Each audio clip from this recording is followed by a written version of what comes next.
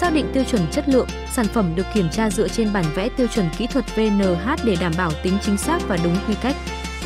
Kiểm tra kích thước và bề mặt chi tiết, các kích thước được kiểm tra qua cữ theo thiết kế đã được xác định từ trước.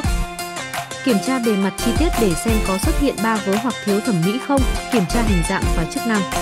Kiểm tra xem sản phẩm có bị móc méo, biến dạng hay không. Xác định tính ổn định và hoạt động của phần gen. Kiểm tra chắc chắn sản phẩm, sử dụng máy khoan để kiểm tra sự chắc chắn và hoạt động ổn định của ốc liên kết.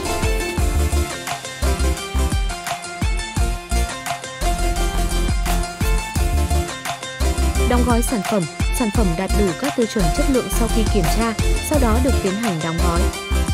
Xử lý sản phẩm không đạt chất lượng, nếu sản phẩm không đáp ứng ít nhất một trong những tiêu chí, sẽ tiến hành thu hồi để xử lý và khắc phục.